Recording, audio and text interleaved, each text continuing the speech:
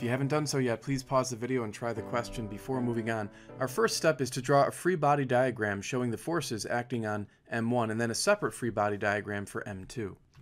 Now there are four forces acting on mass 1. We have the gravitational force acting downward, we have the surface pushing upward on mass 1, we also have the applied force F indicated to the right side. That was the force that was drawn in the diagram originally.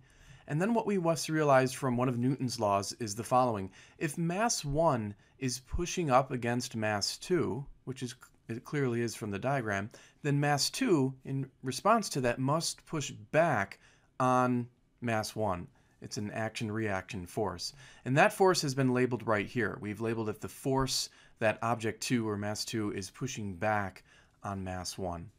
Now over on mass 2 we only have three forces. We have the gravitational force, we have the normal force as described earlier, and then we have the force that mass 1 is exerting on mass 2. It should be pretty obvious that if mass 1 is being pushed to the right, then it's going to be pushing up against mass 2. We actually already spoke of that force we said that mass 1 was pushing up against mass 2, and in response, mass 2 pushes back on mass 1. Those are equal and oppositely directed forces. So what we've done is we've labeled that force F1 acting on 2. In fact, since those two forces are equal in magnitude, it might be helpful to give them a label with just a single letter. So instead of calling it F2 on 1 in this diagram and then F1 on 2 in the other diagram, let's just give it a general label since they are the same. To keep it simple, we'll just use the label F for those forces. Now after drawing and explaining these free body diagrams, we're going to use Newton's second law. And more specifically, since these objects will be accelerating in the x direction, we can attach x subscripts to the force and acceleration. We can go ahead and first apply this law to mass 2. There's only one force acting in the x direction for mass 2, and that is the force that we've labeled F. So let's plug that into the sum of the forces in the x direction. Notice we've also plugged in 1.2 for the mass, because m2 was stated in the question as being 1.2 kilograms. Now, of course, this equation has two unknowns, the force F and the acceleration. So what we'll do is we'll circle it and we'll hang on to it, and we'll use it when we apply Newton's second law to the first mass. So let's do that next. Now the first mass has two forces acting in the x direction. There is the applied force F, which was given to us as being 3.2 newtons, and then there's the force that we discussed earlier that we don't yet know. So notice that force is pointing to the left in this free body diagram, so it's going to be negative when we plug it into the net force equation. So let's put those two x-directed forces into the equation. Notice that we've plugged 2.3 in for the mass of object 1 because that was stated in the question. Notice also that we can replace this F force right here with 1.2 times the acceleration, which we found earlier when we applied Newton's second law to the second object. So let's make that substitution. Now it's rather easy to solve for AX, so go ahead and take the time to do that you should get 0.914 meters per second squared. And then all we need to do is take that acceleration and plug it back into the equation right here to solve for the force that's acting between the two objects. It was that action-reaction force. So let's substitute in 0.914 in for this equation for the acceleration, and that'll give us the force. And when you do that, you should get 1.1 newtons for the force that's acting between mass 1 and mass 2. So part A is solved. Now, in part B, we are told that a force of the same magnitude is applied to the smaller block but in the opposite direction. So what that means is that instead of this force acting to the right on mass 1, it's now going to be acting to the left on mass 2. So let's adjust the picture accordingly. Now, of course, that's also going to change our free body diagram. Instead of an applied force acting on mass 1 to the right, we're going to have the applied force acting on mass 2 to the left. So let's make that change. Now, interestingly, the force that we've labeled with an F in red is going to remain in the same position. This is that action-reaction force, and let's just try to explain that one more time to make sure it makes sense.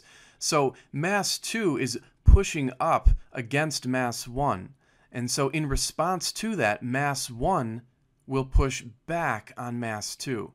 So there will be this rightward directed force acting on mass 2, and that's what we have indicated here. On mass 1, it's to the left because mass 2 is pushing on mass 1 to the left. So mass 1 feels that very same force, but it's directed to the left. So hopefully that makes sense. We don't have to change the labels of this red force on either free body diagram. We can now apply Newton's second law. This time we'll apply it first to mass 1. There's only one force acting on mass 1, and that is the negatively directed unknown force F. Also what we want to note is that since the net force is pointing to the left, on object 1, there's only one force acting in the x direction, and that's to the left.